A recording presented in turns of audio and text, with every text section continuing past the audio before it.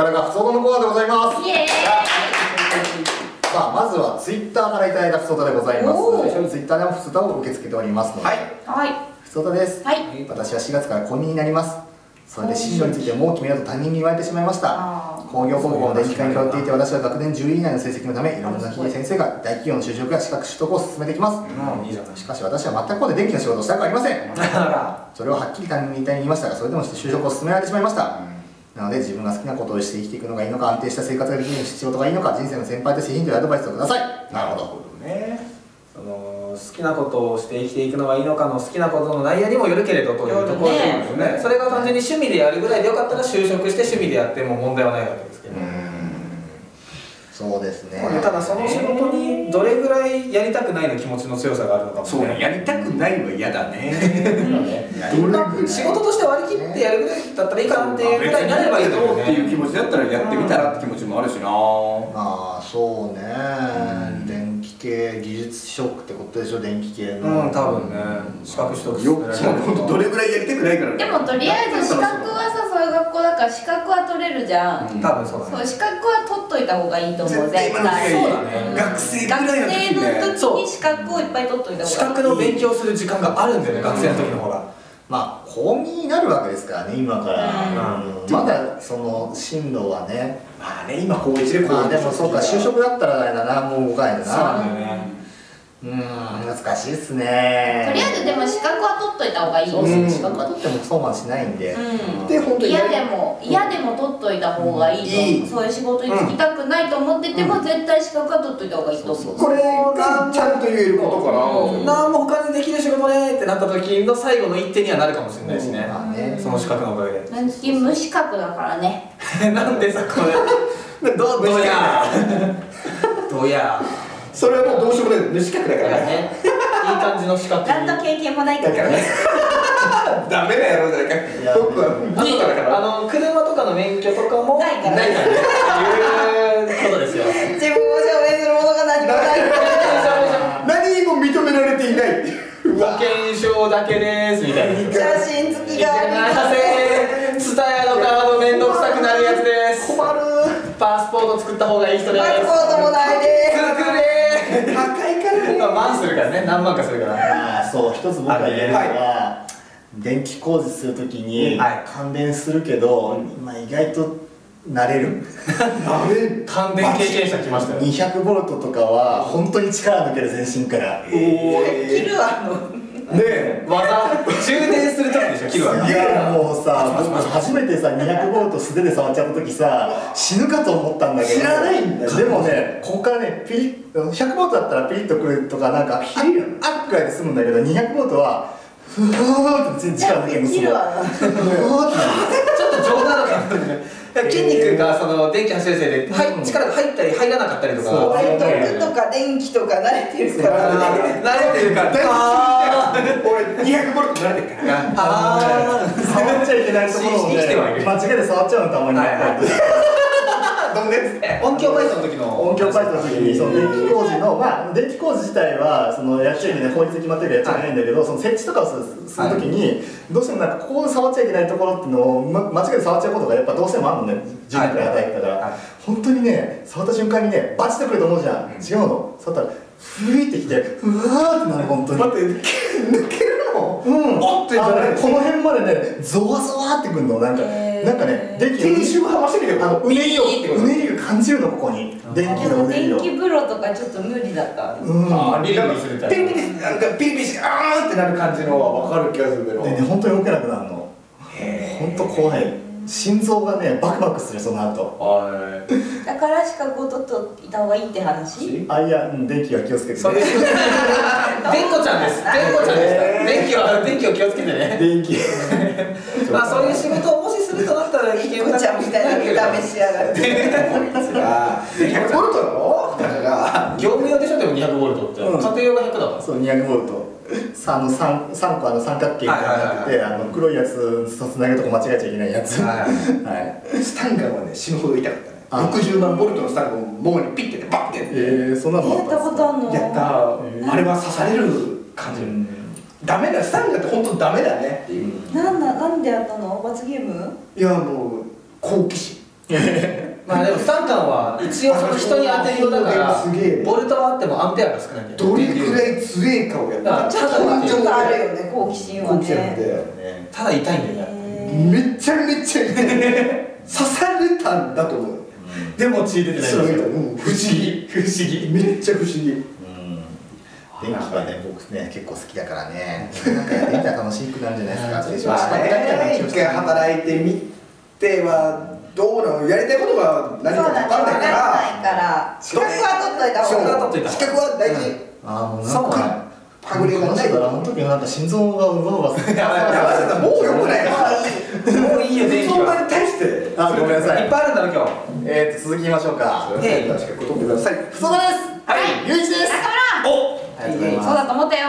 BT の新たな未来作戦に勤しんでおりますが土曜日月の連休で連休友人たちと九州に旅に行って旅行に行きますのでたくさんは考えられませんがとりあえず何個か絞り出したので吟味してください。ありがとう。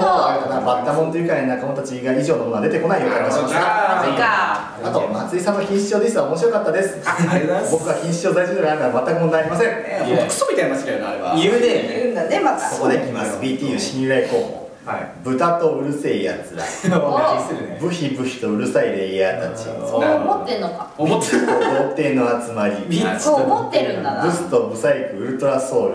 基本はブスが多いうんそうだね。無難な時にアップする。そんな時にアップする。バスローブを着て舘ひろしと愉快な仲間たち。君どうしたね。ぶちかまして梅干し。バイオやって TM レボリューション聞いてうんこする。美人とうんこたち。ベイスターズタイガース生まれちゃなんだよ。う ベストテクニックユニオン過去団体。あダサかっこいい。ダサかっこいいやつ。じゃあ本日の本の中かバらカに適度に受ける。ベおー。ーコン取って後ろ後ろ。うバーベキュータンドリーチキンうまい、んかなりあるね。うん、むっちゃきた。めっちゃ来たね。めっちゃ来た。さすが中村さん。BTU here あはあはい。ブスとビッチとブサイクとうんこだと思われてるってことですね。我 々そうか。は中村にそうか。主にそういうあ分かんない。でもその今その4つが一人の話かもしれないあと誰かを舘ひろしと勘違いしてる。誰かを舘ひろしは舘ひろしは欲しいな。うん。うん。松井さんダディだからな。ここら辺立ち感出てっからな。そうか。バスローブ着てるもんな松井君。そうなの？普段バスローブで生活して中村に対する今後の態度を考えろと。いうなんで？そう思ってんだもうビッチがね。なんでだよ。ボケてんだよ。いいだろいいじゃない。ですかいじらせてくれよこっちでもさ指名してさそうだよ。こっちいやそうだよ。ブスに関してはあなた自分で言うでしょ。いやしかもあれですよ。とりあえずこれは言われたから暫定で締め切りまでに送っておきました。本命はこれから来ます。と待ってるよ。ありがとうございます。ちゃんと宿題したちゃんとやってくるの送ってこねえとぶっ飛ばすぞ。じゃあ小林さんなんか一個いいですか？一つ。BTU でね。うんはい。よろしいです BTA かの B BTA の B えはい次。行き BTA のましょ D 宿題にします宿題ですねこれは。はい小林さんも宿題です。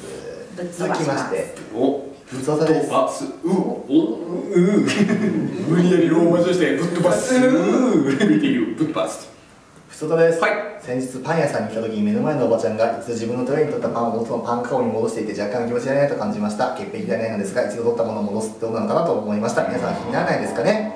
気になります、ああそこは気になる。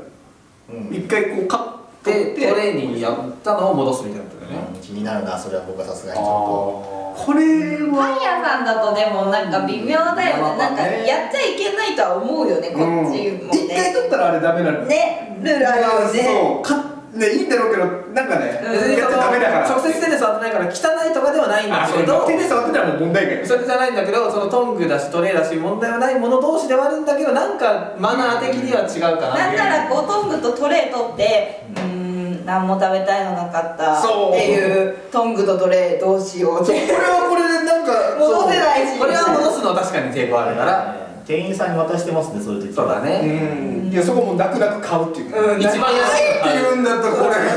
だってソーセージパンとか。まあ外れはないやつとか。妥協案は探すでもさ本当僕ねまあ話ちょっと変わっちゃうんですけど、はい。ビトフランスとかでさ行った時にさ、はい。こうなんかこう好きだねトレー持ってさ、もうビトフランスすごい好きなんですよ、うん。めったに行かないんだけど、それでさトング持ってさこうやってさあーってさすごいねね。悩むのがすごい好きで、うん。ビトフランスは彼女と一緒に行った思い出です。また芸がもう よく行ったなと思いなが。ら二俣川でよく行っ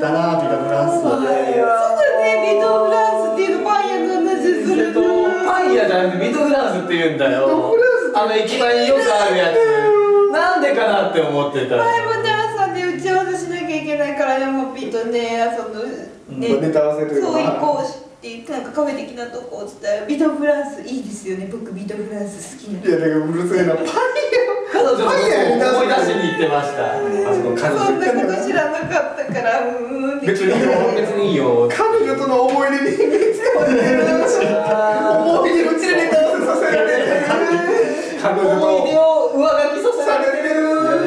違う違う違う。違ういや違うね。じゃない違いますビドフランス自体は別に岡山にもあったし横浜にもい。っぱいあったし結構広い範囲にある。いろんなところにあるしただ二俣川のビドフランスはうるせえな。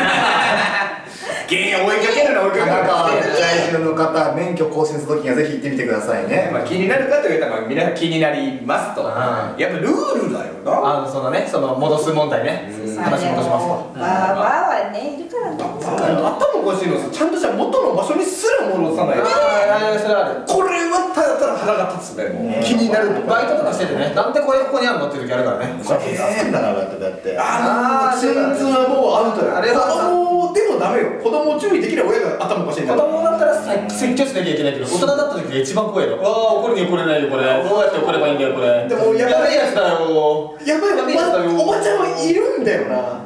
おじさんおばさ。んもうすいません商品なんでやめてくださいって言わなきゃいけないんだけどさ。一回さ焼きそば屋でさ働い。てた時にさこう焼きそばにさおばあちゃんがさめっちゃ鰹節をかけてさ持ってったわけよ、はい。はい。でこうしばらくしてさこう食べかけのやつ戻ってって持ってきて「ごめんなんかさビニールが入ってたみたいなんだけど」って言われたんだけど多分それ鰹節。絶対に鰹節なのよ。どう見ても鰹節なのよ。でも鰹節ですよとも言えないしさ食べてみてくださいとも言えないじゃん。でもまあでも鰹節なんだよ。こっち何の日もないのよまあなすいませんって言ったけどさ言ってさ回収してさお金も返したけどさ、えー。出たけどさ鰹節なんだよ。あそそうだからね。鰹節なんだよ。うえー、もうその逆がありましたよ、まあ、ラーメン屋行って長いなんかビニールの袋がうん。なんか切れ端っこ袋切ってこうやったらここが入ってでまあ一応詰めちゃうとこれああのメンマの袋のやつですっていう。あの正体 の顔してやって何度謝るんですあメンマの袋のやつですね。そういうことじゃないですか 答えを知りたかったクイズじゃなくてなるほどじゃあとなし謝罪などが欲しいんです。欲しい。欲しいじゃないあなるほどメンマの袋ですね。そうだったんですねじゃないんだよこっちは。変な会話あったあメ ンマの袋だ食べられますよっていうんじゃい？やない袋ですよね。いやメンマなんでメンマの抗生物なんで食べられますよ。あメンマが入ってたやつなんへえあありがとうございます。あそうですか よかった。すっきりしました。まあ食うけど 食ったけど。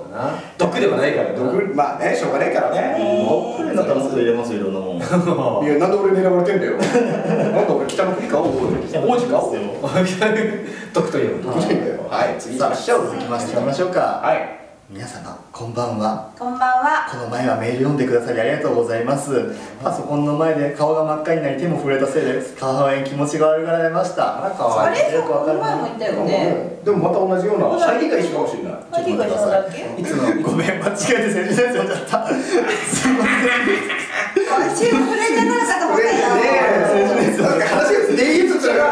3月ごめんあの同じ日同じ人だったから間違えて言っちゃった。ごめんなさい。1週間通じて通じてそっ病院に行きましょうそれはあのね季節の挨拶みたいなあのね僕は結構ね小林さんに同じ体験をさせているので申し訳ないと思います。小林さんに同じ体験をさせている？あのパソコンの前で、あの手を規制を上げながら震わせていてどうしたんだろうと思って。ああそうだね、うん、よく聞こえるよそれは本当に怖いとうございます。じゃあその人の本当のこの人の普通でいきましょうか。はい。はい、もう同じ人ですね。皆さんこんにちは。またまたメールを送らせていただきます。ありがとう最近神社に行ってきました。そこでおみくじを引いた大吉でした。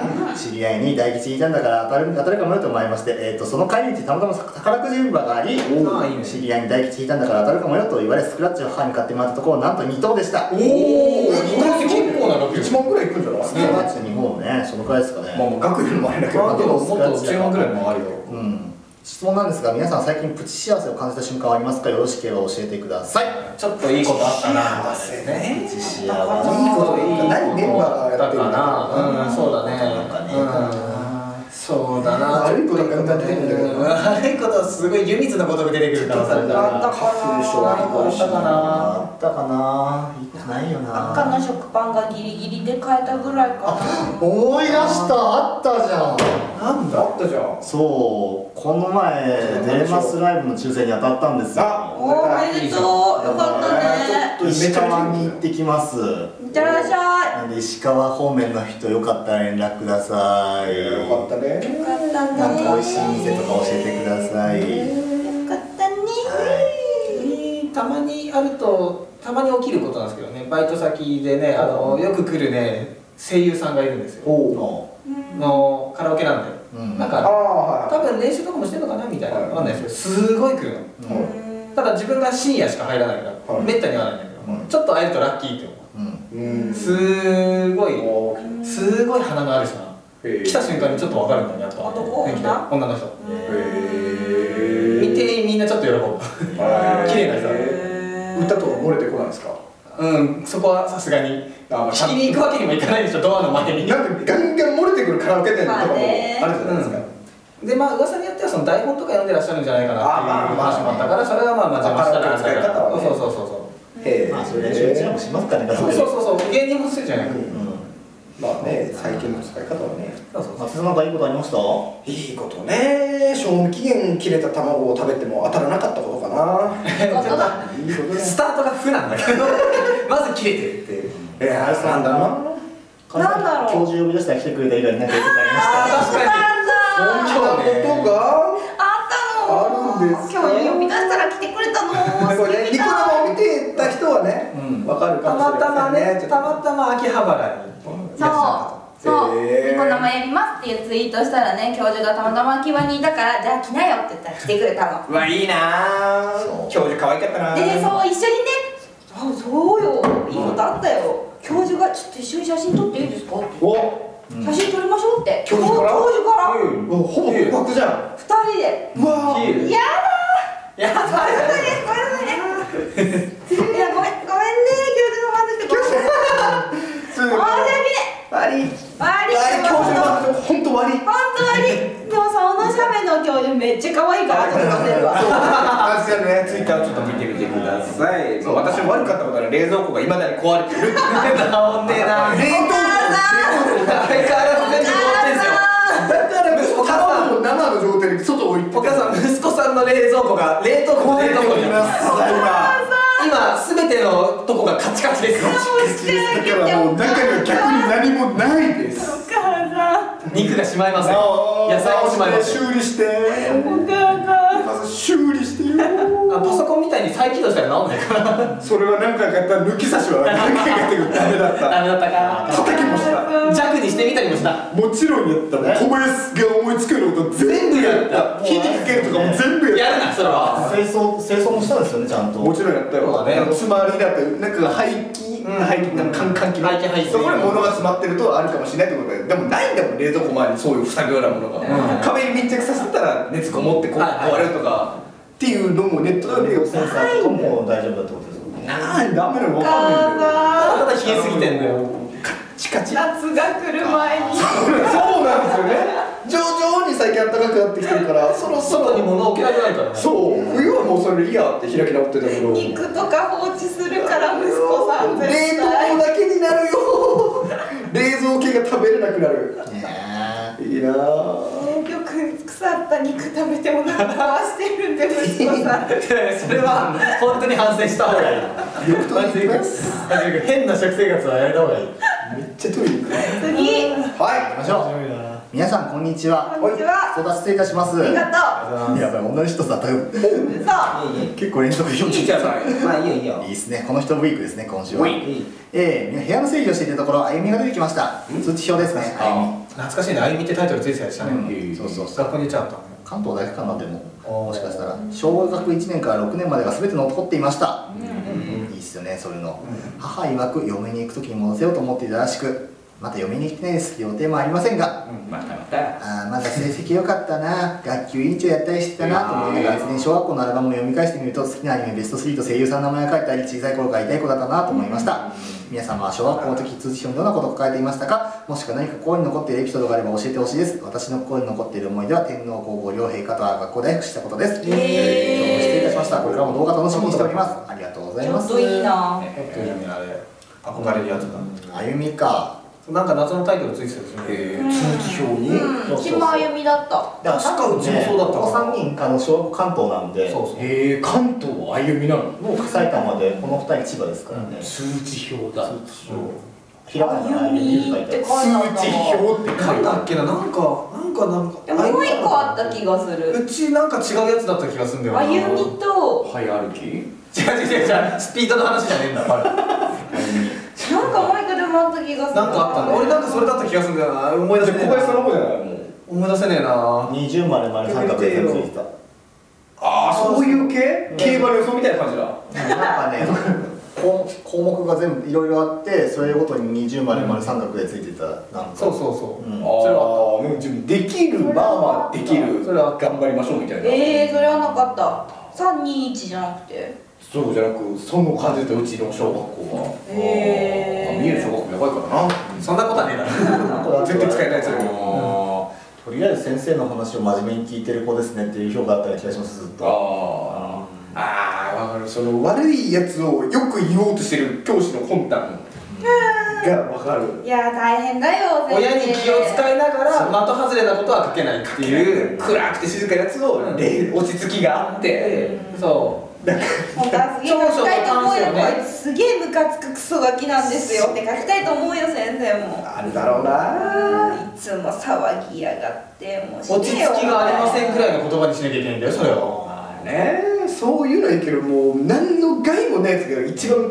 辛いんだろうな、まあね。俺ただ黙ってボーっとしてるような。俺書くことなかったぞ多分自分もそうだったから。何考えてるかわかんないやつぼーっとしてちょっとしがちですとかなんかふわっとしてただかといってテストの点数とかが悪かったらちょっとそこ触れるじゃん。もうちょっと頑張りましょう。そんなことはないから触れるに触れられないみたいな。どこかにすぐ火をつけそうですそれ俺それ別にその頃から片鱗ミス才能の片鱗見せてないん。だよボッつってつけつけ変な発言だよねうーん。なん。だ火の能力者だったら俺かっこいいけどスーパーかっこいいけど火で文字書いてなかったら殺すこれ犯罪用語超能力別の生かし方しろ。殺すって書く以外の。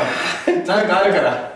そういえば1点あった僕そういえば。変わったこと書かれたのが。一件だけ。1個だけ、はい。あのね家庭科の欄に、はいはいはい。あのミシンは100点なんだが手縫いが20点なんで平均すると60点ぐらいですって。ウィットに飛んだジョークみたいな。アメリカンジョークみたいな展開だったけど。ウィットだ。ミシンは得意だったんですかエプロンは超綺麗なんだけど、うん。ぬいぐるみの亀はクソ汚い。っていう母さいやいや違う違うあのね武器指先が不器用だったみたいな。物使うのは得意だけどみたいなね。僕昔ミシン遊んだんですよ家。へー親が触らせてくれたの？エリートじゃん最高。なんかでかいミシンがあって僕機械が好きだったんで、うんうん。それをなんかね使って遊んだんですよね。電気とかで感電してうわーってなってその頃からまた才能で電気系の能力者だったの雷が雷タイプのピリッとでもなんか家にあるかなんか電化製品全部分解してたんで。うわーやばいやつだ。これことが分解しないしすごい人になるあれだ。いやでも分解してまた同じように組み立てるっていうのは趣味なんか好きだったんですよ。そういうエピソードをシリアルキラー知ってんなやたらと分解しては作り直すっていう。体の仕組みを知りたがるよ。ねえ。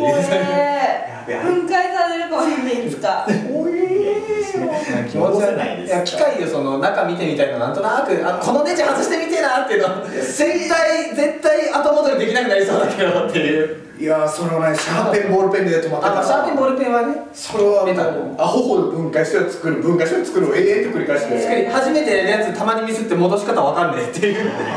これなんか構造ちげえんだっていう。がどっか行って押してもダメになったバネが。二度と戻ってこなくなる、はいはいはいリカちゃん人形の足がどこまで開くかとか。それは本当に。逆バッタもん大丈夫なのおい。うい。うい。キチキチキチキチキチいや最高の遊びしてるじゃんやめなさい開脚ああいてててててやめなさいどんな色なんだいえそれは違うああそれは違うじゃんそれは徐々に出てくるいじめ今回そんな感じですかね。そんな感じですか？林さんはどこの部屋と隠したことあるんですか？ないよ。ないよ。なんで俺陛下と何かしらの陛下と会ってんの？ある陛下と会ったこと。何かしらの。陛下何かしらの陛下何はかしらの陛下っている他に言うの海外も含めればね。昔僕がバイトしてたホテルの花屋の店長は殿下って呼ばれてたえすごい殿下っぽい顔。して殿下っぽい顔。梅干し殿下皇族の方とか大学時代に同級生から言われるって言う。んですよへー。あじゃあ。同級生からも殿下っていう。いやー。地方にはそういう人いないからな。あいやいますよ三重だったら。いや見えややべえやつしかいねえんだよ。自醤油工場の息子と同級生だった。えおあ社長の息子と同級生だった。御曹司っていじったりしたういやまだその頃知らなかった後に知るのあいつの家すげえなっていう。社長だう。うん、なんかその地元の祭りの子供みこしみたいなうん子供がさやるおみこしでこうちょっとお金持ちの家とかこう回ってお菓子をとかをいっぱいもらえるみたいうんなその商店街とか行ってお菓子をいっぱいもらえるみたいなみこしの祭りうんでやたらでっけえ家に行くとなんかそういうお菓子とかじゃなくてなんかみんなに麦茶とみたいなアイスとみたいなスイカとみたいな。すすげえちげえやつげえ家やんなって思ったらあいつんちだって。あいつんちすげえ。ってすげえ。いじってすごすぎていじって都会かどうかは怪しいんだけどなんだろう地主みたいなことなんだある意味ではねそうだな。そのその地区の一番のじゃないけどそうだね。みたいなことだよそいつの力で計画停電がなかったって都市伝説がある。ぐらいあの工場止めたらやべえ へえ昔ねちょっとあった一見不定の時あったね。確かに確かに。あそこ止まるとやばいっていう地区は多分全国いろんなところにあるもんな。まあね工場工場。そりゃそうだろうね。インフラ系の。うん。都市伝説だけどね。実際わかんないけどね。なんだ一番すごいのなんだろういねえなそういう社長っすげえて。すげえやつそういうそいつしか知らないで社長。もそいつももう転校しちゃったから小学校の時に。全然関わりないけど。逆に今では社長との運命の出会いがあああ玉のしだ。あ出会えるかな。いるかな地元歩いて歩き方どうだよ歩き方どうそういう臭いとこ行けやお家は知ってるんだけどなその一番でけえ家自体は引っ越しただけで一番えーいいな。ぁまあいい思い出しかねえよ学生なんか。じゃあ次行こ次は次行きましょう。ううん。普通だ今日多いんでしょ？びっくりするほど唐突にウルトラソウルの皆さんワンバンコ。ワンバコ。何が起きてるんだ？BT だ。BT です松井さんの手相占いコーナーが始まりこれからもどんどん皆様の新コーナーが増えていかないかなと楽しみにしているスティーブン・さんです。あくっつさん。プッツーさん。久しぶりくっつかなさん。かコーナーといえば新春特別企画のクイズがとても楽しかったので皆さんのバラエティ色が強いコーナーをもっと見たいです。あ嬉しい。これなんですがメイ君もやってみて到来的な企画はいかがでしょうか？うん。先輩同輩同期後輩芸人さんを急に呼び出して自分の前には化粧品一ウィッグ。そこで急に夏 姉さんのメイク動画を見ながらこのキャラクターのキャラクターのコスメイクをしてみてくださいという企画です果たしてコスメイクの芸人は夏姉さんのメイク動画で初めてのキャラになりきることができるんでしょうか造形講座並みに不定期でもいいのでぜひよろしくお願いしますと。なるほどねやって到来って面白いもんね。あれなあれね。エキセントリックなもんできちゃうんだよな頭おかしいやつやっぱ面白いもんな。面白い。でも分かるなって思う時あるたまに確かにこれの作り方そういえばちゃんと知らないなっててかやたら難しいのの時あるそうだから悪意があるもんね悪そう目線がそっちになっちゃうあー嫌な演出してんなーって悪意あるな。葉物の野菜を使うときに葉物の野菜が5種類並んでるね。でわざと分かりにくいあ悪意が葉物の野菜って地味に見分けつきにくいんだよねどうせ分かんねえだろうだっけななんねかすげえ難しそうななんか、うん。でも麻婆豆腐とかもさ、うん。元から作らないのって難しすぎない？元はね豆板醤入れてまあ配合は分かんないよね。わかんないよね普通クックルーから作るじゃんみたいな。そうそうそうそう。最後に混ぜるんだよ。片栗粉とぐらいはわかるけど詳しい味付けは何になるんだ？みたいな。知らんだなって。ねえ。だってシューマイ作ってくださいとかしんどいでしょ餃子ならまだいけるけどシューマイってどうやったら形にするの職人だよみたいな。ねまあね。ね作れよ作ったみたいなでさよ。いよいよい言われるでしょ正論燃やした事件に関してはさ、まあね。ただよく考えたら正論の正しい使い方は分かんなくても無理はないと思うんだよ。使ったことはないないもんうん確かに直火にかけないけどさ竹かごだし。にそれはなんとなく分かってんだけど。ダメだろうけ多分ど別の何かがあってその中にせいろ入れたりとかするんだけど。でももう分かるっちゃ分かる。気持ちはめっちゃわかる。めっちゃ分かる。まあね燃えるまで待つのいや絶対面白いんだよスタッフの映画でもあるよね。燃えるまで止めない。すごいな。それをメイクで。ねメイクで。待て待てってやってくる。おいおいそれ燃えるまで。ってなんのかな？食べちゃダメだぞそれ。っつって発音してないよってなんだろうね。まあまあとやってみたいですね。あのどれが本物のアイシャドウでしょうっつってねここがパン何本かあって。これで夏目君も言ってるでしょモニターとか見ながら。見ながらいやそんな一番減ってるやつだよ。それはこれはないんですけどってねあるあるあるあるある完全に解散の使ったらそうなるよねまずは眉毛を消せよ。え眉毛を消せよ生えてるこの人。そりゃそうだそれはそうだからやれよってこっちが厳しすぎるって言ったらただやべえやカミソリカミソリカミソリがもうカミソリあったろそれよ。だよ。そっから。そっからじゃあ怖いな。つ長い話になるなそれ。まあいろんな人にまあメイクチャレンジしてもらうみたいな企画はね。面白そう。そうですね職員さんにお願いしようかな。職員さん。にねいろいろゲストを招いてねそうですね。いろんなメイクメイク方法人それぞれ違うかもしれませんしね。うん。そう。河合さん以外のコスプレイヤーさんのメイクもちょっと見てみたい気がしなくもないですよね、うん。確かにね。うん。だってネットとか見ててもやっぱこれどうやんだろうって思う時とかあるもんね。はい、というわけで、えーはい。募集しております。そうですうん。またクイズもやりたいね。やりたいですね。楽しかったクイズは何かの節目にやりたいと思います、200回100ボリューム100記念とかもありますからね。そうですね。直前スペシャル。今撮ってるのは90です。9おー。スペえきえいいじゃん。節目じゃん直前スペシャル。直前スペシャルでやっちゃったらその時のスペシャルどうすんの？いやもうカスカスで。スカスもうないようなコアなところしか。10回しか経ってないから。ね、松井さんの性別はど男女みたいな。どっちバカモンが出てくる。バカモン。ああもうないんだ。逆に簡単すぎるやつやってるおおおお中型でした。中型か。骨太の中型。あれでも中型なのか。さあ皆さんいいですかねそろそろ。はい続いてですか？ラストの普通歌に行きたいと思います。はい。よい。しょ行きましょう。普通歌です。はい。普通歌失礼します。どうぞ。長文すみません。いいよ。先に謝らせてください。いいよ。あら何？先日同じ会社のアルバイトさんに告白されました。お。あら。大学生？大学生？はい。大学生。はいあまりにも意識してなかったのもありなんで私と思いびっくりして黙りこくってしまいました、相手の方も一生懸命勇気を出して言ってくれたのにまたもう分かったし声も震えていましたしそれなのにちゃんと返事ができなくて謝ってしまったのです。相手の話は相手の方はずっと真の話をしたり仲良くしてもらえるのが嬉しいから本当は言いたくなかったのにすみませんでしたと言ってくれるほどいい子です。い。いうん今の私は恋愛することより好きなノーマルカップリングのことを考えたりすることを考えたりするのが楽しくて ここ最近恋愛は遠回しにしていました、それに年齢はタラヤバ娘と同じなのであまりにも年下すぎて年齢差が気にならないのか私のよりも若い子がいるのになんと消極的になってしまいます。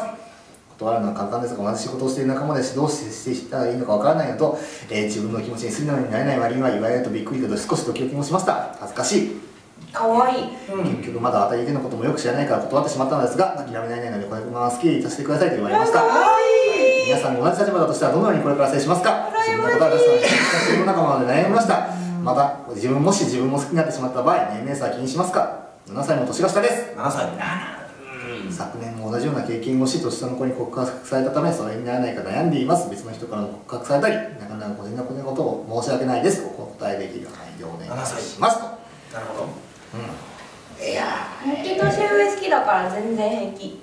まあ自分逆に年下だったらってことですよね。そうなんだよね。年下も逆に嫌いなんだけどね。年下もためも嫌なんだけどね。うん。ただまあ話話ががこれ聞いた限りだとその年下の相手に対してのその嫌な感じはそうそうこの人はないじゃんまあ今ねそういう気持ちじゃない。そうそう単純に今そういう恋人を作る気がそんなにないようちの友達はあの夏希よりも1個下の子か。1個下の子だけどうん何個下だろうな。結構若いね、ほん。とでも67個下ぐらいの子に、とその付き合おうって言われたけど、こっちは年齢がギリギリだから結婚するぐらいの結婚してくんなきゃ絶対付き合わねえっていうスタンスで付き合ったっつってて。20代後半とも二十歳ぐらい結婚した。おおねそっか女性は年よりありますもんね。今ここで付き合って時間使って別れたらっていうのもあるんだよね。そうね。で大学生はいいかもしんねえけど、こっちはもうギリギリなんだ。っって結婚する気で付き合えって言ったラストワンだぞこっち。ラストワンショーだぞ。そうね。ラストワンショー女だから性は男は別に残したと全然まあね。ね気にね。女性の方がそれ女子高生とかまで行ったらいやーそれはまた意味が違うからね二十歳超えてりゃね。いいよね。って思わない、まあまあまあそのまあその人次第だっていうね年齢差じゃなくてそうね。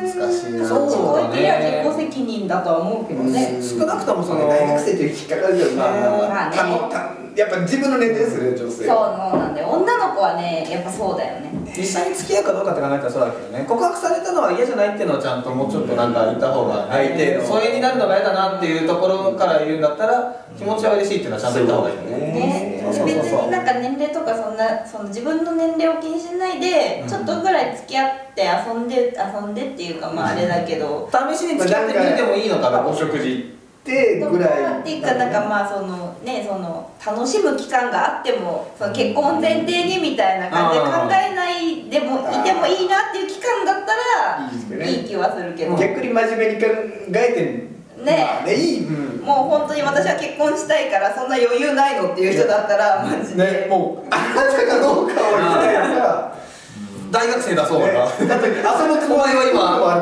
結婚相手を探しているのか。どうなの問い詰める形になる時のじゃないかって。おえ女子だもんね女子だこもんのメールくれた人が女の人なんですそうね。ね。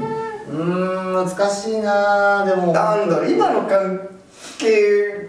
ねえなんだろうなんかね。向こうからすりゃね。まあでも向こうがねそうやって好きですしてくださいって言うんだったらこっちが逆に普通にしてた方がいいそういいのよねそうだ一番な。凛としてるのが一番。そうにもなんのかわかんないかわいそうとかじゃなくないんですそうなの。かわいそうなの。一応答え出してるんでしょ、うんうん。別にだってあといやは小林さんそういうなんかセフレ的なとこあるいや言葉悪すぎるわ。じゃあ別にだってなんだろう。仲良く友達とする分には。だから仲良くしときゃいいんじゃないと思いますけどえとりあえず今はそういう気持ちはないって言言ったんだよね。ね言ってますもうちゃんと答えてるからいいとそうそうそう思いますけどね。でもまだ好きにさせてくださいって言うんでしょ。かかわいい。それはかわい。いでもよくいいな知らないから断ったって言ってしまってるから。まあでもよく知らないから断ったは諦めづらいのはあるよね。相手にきまあじゃあじゃないのが分一緒にご飯食べましょうみたいなことになるよね方向的には。ねまあじゃあゼロじゃないんだ。ちょっと考えますみたいななんかもっと仲良くなったら分かんないな言ってるからな本当。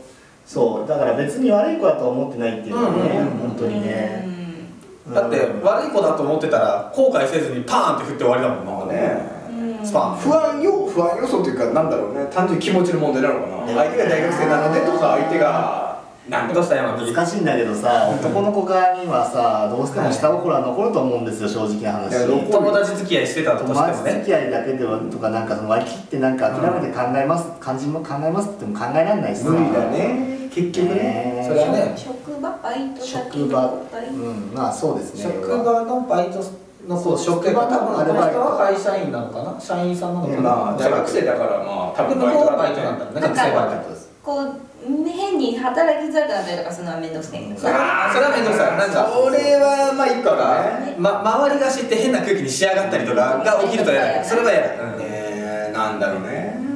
なんだろう。理由がそういう気持ち的なもんだったらなんかねうん付き合っちゃうよみたいなのもなんだろうね。でもその遊び感覚というわけじゃないけどね。だけど試しに付き合ってみるのも間違いではないからね女子のねそういうそうそうのねその私には余裕がないのっていうのがないんだったら別にね。そう。そう。でちょっとぐらいうん。付き合ってみてもいいのではと思ってしまうけど、ね、せっかく今そういうなんか好きな人がいてとかだったらもちろん変わってくるけど、単純に知らないからが理由であるんだったら単純に知ってみるっていうね,、まあね。一緒に遊んでみそたりの子も1ヶ月しか経ってないのとかそういうのはバカなことじゃなければね。うん。あまあまが本当に自分に付き合う気がさらさらないんだったらもうそれはちゃんとさらさらさらさらそういう気分じゃねえと。ああ今もうそんな考えてらんねえわっつって。言って言った方がいいだろお仕事やって趣味やっていろいろあるでしょうからね。本当に彼氏に金使うぐらいならマジでホモにしか金使いたくねえっていうぐらいだったら。うんいるからねそういう人だと思うまあそれだったらそれはもうさまあそどこまで言うかは別としてねその内容をね。お前よりホモの方が好きだ。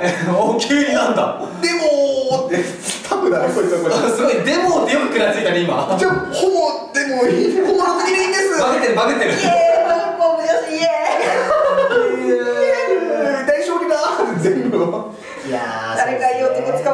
ないけど試されえ、なんだろうな。なんだろうね。まあでもまあこの人は多分真面目だから、うん、その付き合ったらまあ結婚するってことだろうな告白されやすいんですよね多分その、うん。うん、されやすい。まあだってそうなんだ。いいね。前にもされたことがある。え？去年も告白されてるし別の人からも告白されてるし、うん、多分すごい。前の？なんか前の？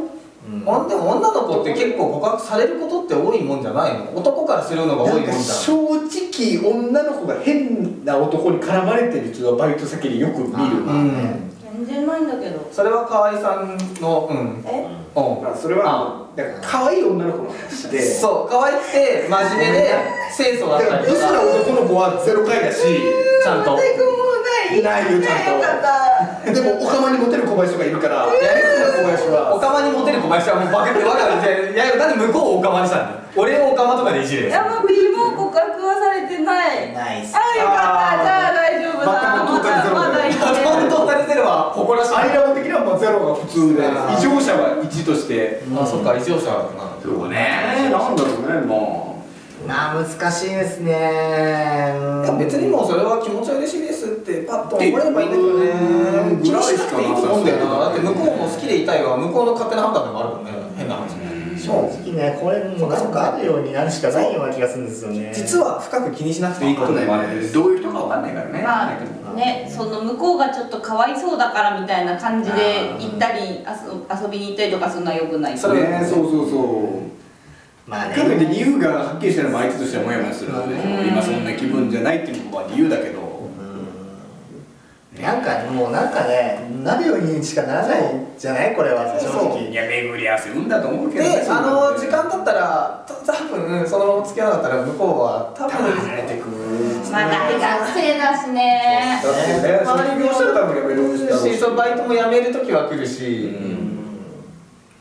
いやあーねいや確かにわ逆にそれでも全然諦めなかったら向こうが、そしたらちょっと考えてみてもいい？いやそしたら逆に響くよ。それの響かなかったら多分本当にちょっとどっか嫌ってんでしょ生理そう的に。どっかで、あ、この人無理だなと思ってるグリがあるうーんってね。だろうから。そうそうそうそう、そんぐらいでいいと思う。うーん。まあね仲良くしたい子ではあるけどってことなんだろうね。まあまたねそうね、むず仲良くはしたいけどそういうのは無理みたいなのなんかまたちょっと面倒くさいね。ね調子良くなっちゃうんですね。ね。ででなんとなくニュアンス的に友達ではいたいけどってことでも空気が変な悪い空気になるのは嫌だっていうところはあるからね。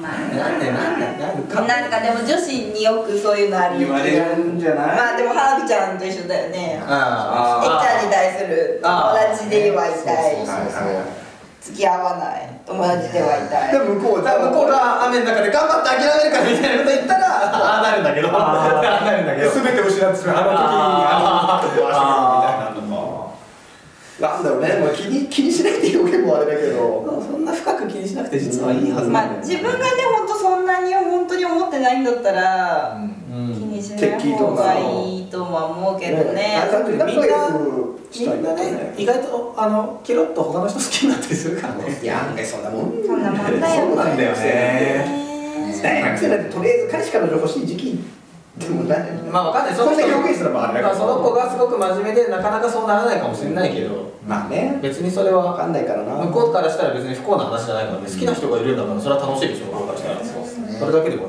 楽しいもんでしょ。いやまあそうね。まあねいい人が現れるといいね。うん。とりあえずお互いにね。そうその人にも。うん。そうだね。まあ年齢差に関してはとりあえずこっちが気にしてるだけ男は気にする必要はないかな。そうだね。感じで。はい。そうですね。自分が気にならないんだったらいいんじゃないかっていう。そうですね。はい。二十歳超えてりゃ大丈夫。大丈夫。大丈夫犯してるわけじゃないし。ああ高校生じゃなきゃ向こうが急に就職しなかったりしたら考えた方がいいかもしれないけど。ターとかギャンブル中毒とかなんか DV とかじゃなかったらバンドマンとかお笑い芸人とか。だったらね大丈夫ええ。そもそも付き合っても、はい。あんたに避ける時間そんなにないかもよっていうのは、うん。口を酸っぱくして言っといた方がいいし、口を酸っぱくして言っても結局揉める時は揉める時それでついてきてくれるやついいやつだよね私はもう趣趣味で行きたいしか僕はね難しいんだよね。またそこがさ一般人だと相手が。